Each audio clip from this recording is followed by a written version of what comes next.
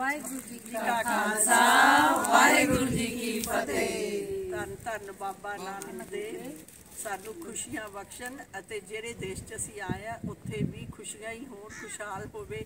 ਇਸੇ ਤਰ੍ਹਾਂ ਹੀ ਅਸੀਂ ਮਿਲਦੇ ਵਰਤਦੇ ਰਹੀਏ। ਸਾਡੇ ਲਈ ਦਰਬਾਰ ਵਾਹਿਗੁਰੂ ਦਾ ਗੁਰੂ ਨਾਨਕ ਦਾ ਖੁੱਲਾ ਰਹੇ।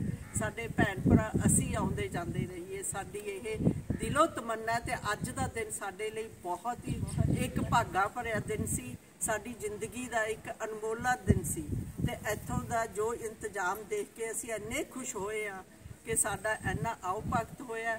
ਲੰਗਰ ਜਿੱਦੀ ਸੇਵ ਅੱਦੇ ਅਸੀਂ ਖਾਦਾ ਇੰਨਾ ਸਵਾਦ ਲੰਗਰ ਕਿ ਦੱਸ ਨਹੀਂ ਸਕਦੇ ਅਸੀਂ। ਬਹੁਤ ਸਵਾਦ ਐ ਬਹੁਤ ਸਫ਼ਾਈ। ਅਸੀਂ ਦੇਖ ਕੇ ਇੱਕਦਮ ਧੰਨ ਧੰਨ ਹੋ ਗਿਆ ਸਾਡੇ ਕੋਲ ਸ਼ਬਦ ਹੀ ਨਹੀਂ ਤੁਹਾਡੇ ਬਾਰੇ ਕੁਝ ਕਹਿਣ ਦੇ ਕਿਉਂਕਿ ਅਸੀਂ ਬਹੁਤ ਜ਼ਿਆਦਾ ਖੁਸ਼ੀਆਂ ਲੈ ਕੇ ਜਾ ਰਹੇ ਹਾਂ ਬਹੁਤ ਖੁਸ਼ ਹੋ ਕੇ ਜਾ ਰਹੇ ਹਾਂ ਵਾਹਿਗੁਰੂ ਜੀ ਕਾ ਖਾਲਸਾ ਵਾਹਿਗੁਰੂ ਜੀ ਦੇ ਵਾਹਿਗੁਰੂ ਕਰੇ ਤਰ੍ਹਾਂ ਤੁਹਾਨੂੰ ਹੋਰ ਸਮਤ ਬਖਸ਼ੇ ਕਿ ਤੁਸੀਂ ਸਾਡਾ ਇਸੇ ਤਰ੍ਹਾਂ ਹੀ ਵੈਲਕਮ ਕਰੋ ਤੇ ਸਾਨੂੰ ਪਿਆਰ ਨਾਲ ਅਸੀਂ ਰਹੀਏ ਤੇ ਪਿਆਰ ਨਾਲ ਮਿਲੀਏ ਪ੍ਰਾਪਤ ਕੀਤੀ ਹੈ ਤੇ ਇਹਦਾ ਕੋਈ ਅੰਦਾਜ਼ਾ ਹੀ ਨਹੀਂ ਲਾ ਸਕਦੇ ਇਹ ਗੱਲ ਜੋ ਲੰਗਰ ਜੋ ਪ੍ਰਸ਼ਾਦਾ ਜੋ ਸਾਨੂੰ ਮਿਲਿਆ ਜੋ ਗੁਰੂ ਨਾਨਕ ਦੇ ਖੇਤ ਚੋਂ ਮਿਲਿਆ ਜਿੱਥੇ ਉਹਨਾਂ ਨੇ ਖੇਤੀ ਕੀਤੀ ਤੇ ਆਪਦਾ ਪਾਣੀ ਵੀ ਸਾਨੂੰ ਉਹਨਾਂ ਨੇ ਆਪਦੇ ਖੂਹ ਦਾ ਪਾਣੀ ਪਿਲਾਇਆ। ਅਸੀਂ ਉਹਨਾਂ ਨੂੰ ਇੱਥੇ ਮਹਿਸੂਸ ਕੀਤਾ। ਮਹਿਸੂਸ ਅਸੀਂ ਜਦੋਂ ਅਸੀਂ ਅੰਦਰ। ਆਏ ਤਾਂ ਇਹ ਲੱਗ ਰਿਹਾ ਸੀ ਅਸੀਂ ਗੁਰੂ ਨਾਨਕ ਦੇਵ ਜੀ ਦੇ ਨਾਲ ਨਾਲ ਫਿਰ ਰਹੇ ਹਾਂ ਵਾਹਿਗੁਰੂ ਸੱਚੇ ਪਾਤਸ਼ਾਹ ਨੇ ਸਾਨੂੰ ਇੰਨੀ ਬਖਸ਼ਿਸ਼ ਕੀਤੀ। ਬਹੁਤ ਲੰਬੀ ਸਾਡੀ ਉਹ ਪੂਰੀ ਹੋ ਗਈ ਆ।